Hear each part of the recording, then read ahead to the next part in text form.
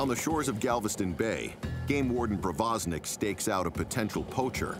Looks like he's just out there having a good old time. You guys had any luck?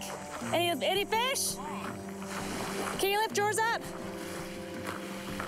Yeah, I don't like Can you lift yours up too? Yeah. I just want just want to measure him real quick. Do you know how big he is? 14 on, on the spot. We measured him. 14. So we're right on it too. You see that?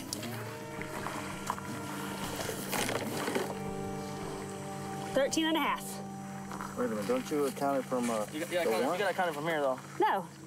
So one inch, two inch, three inches. Oh. we, we got 13 and a half. I mean, he, we thought it was 14. Yeah. You got your ID on you and your fishing license? It's on my, it's on my car. I didn't bring it with me.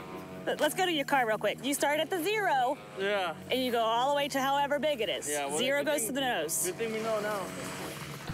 See if I can actually get this guy to freedom here. Come on, buddy. All right, that's a good thing. We got let go. The reason it's important to catch people with these undersized fish is because the little ones haven't made it to the point where they can actually reproduce. I'm going to give you a little bit of a break, right? I'm not going to charge you civil restitution because we were able to let that fish go back, but you are going to get a citation for being in possession for, of an undersized flounder, especially when that's a male flounder, so he's coming in here to make babies. Yeah. And so it's it's that time of year, all right? Just give me a few minutes, all right? I feel bad sometimes for these guys, but at the same time, not as bad as when we're not going to have any fish. All right. How much, how much is this ticket right here? It depends on the judge. Anywhere between 25 to 500. You're being cited for an undersized flounder. Sign here. It's not a plea of guilt. It's just saying that you'll contact the judge.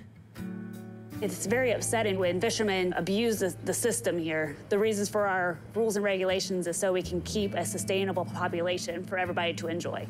If it wasn't for that individual who told me about the undersized flounder, I would have never got them.